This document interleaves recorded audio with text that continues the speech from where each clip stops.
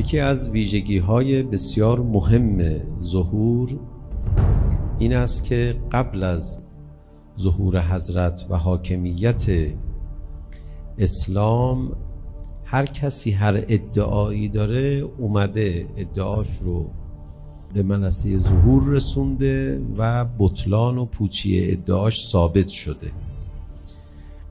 و کسی تو جهان نیست که بگه اگه ما بودیم بهتر عمل می‌کردیم. این خیلی مسئله مهمیه.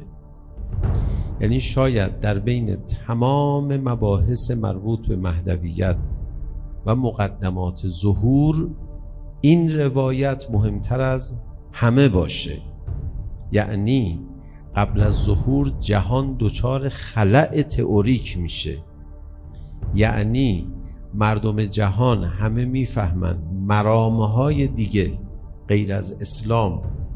هیچ کدوم نجات بخش نیستن و همه به یه سکوت می‌رسن.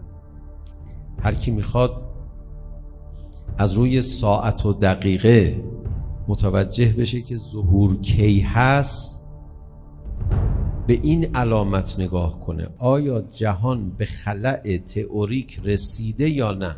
آیا جهان به خلع تئوریک رسیده یا نه؟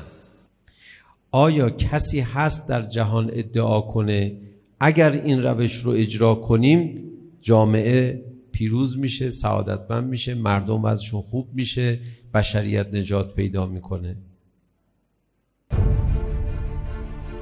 اونچه که من به شما جوانان عزیز عرض می‌کنم این است که بدانید امروز تاریخ جهان تاریخ بشریت بر سر یک پیچ بزرگ تاریخی است. دوران جدیدی در همه عالم دارد آغاز می شود بشریت عبور کرده است. از مکاتب و ایدئولوژی های مادی. امروز نه مارکسیسم جاذبه دارد نه لیبرال دموکراسی غرب جاذبه دارد. می‌بینید در مهد لیبرال دموکراسی غرب چه خبر است؟ در آمریکا در اروپا اعتراف می‌کنن به شکست. امروز در میان امت اسلامی بیشترین جاذبه متعلق است به اسلام به قرآن به مکتب وحی.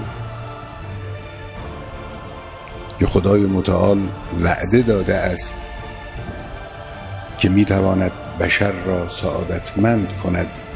مکتب الهی و وحی الهی و اسلام عزیز.